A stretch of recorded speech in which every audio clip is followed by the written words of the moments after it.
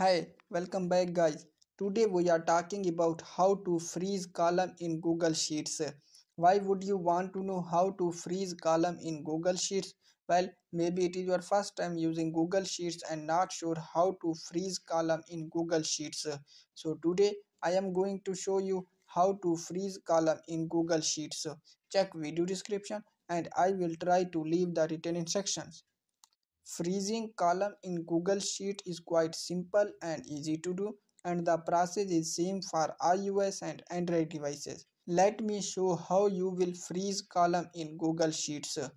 First of all open Google Sheets app in your mobile phone.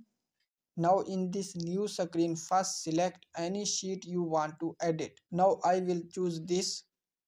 Here are few columns in my Google Sheets. Now I want to freeze a column in this sheet. Then first select B column and then click on it. Now click on three dots and then click on freeze.